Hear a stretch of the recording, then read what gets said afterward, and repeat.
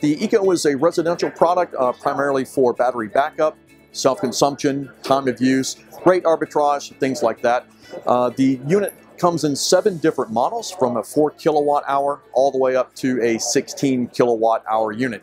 This happens to be the form factor for the 10, 12, 14, and 16 Eco units with the inverter cabinet standing on top of a battery extension cabinet. We can see the front panel interface is the single point of interface, so there's not any extra uh, programming language that you have to learn. All you need is one finger uh, to push on the touchscreen.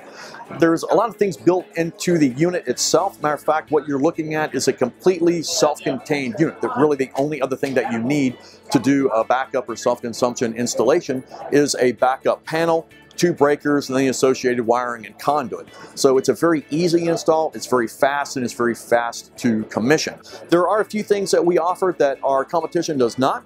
Uh, for example, I think the batteries that we use are, are probably the crown jewel of the Eco products. We offer a 10-year, 10,000 cycle warranty. Behind me is our newest Eco product line. It's actually called the Eco Compact, and it does a lot of things that our uh, Eco series does, except for the backup. Instead of using an LCD, you actually just use your cell phone. We have uh, an internal uh, Wi-Fi network that can connect to your phone or your smart pad or whatever, and you actually commission the system that way. So it's one less thing that you have to uh, deal with or you know, another factor that actually brings the cost of the unit down.